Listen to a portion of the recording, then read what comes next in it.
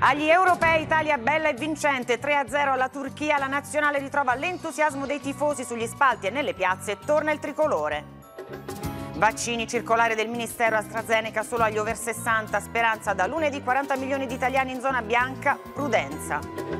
Draghi al G7 in Cornovaglia, tenere insieme crescita, sostenibilità dei conti e coesione sociale, oggi il bilaterale con Biden.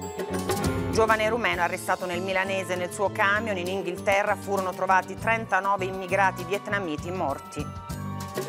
Estate in anticipo al nord previsti più di 30 gradi, spiagge affollate dalla Sardegna al Friuli, da domani alta pressione anche al sud. Serata di addio per Eleonora Bagnato che lascia il Teatro dell'Opera di Parigi, un saluto lungo e commovente, presente anche la sua famiglia.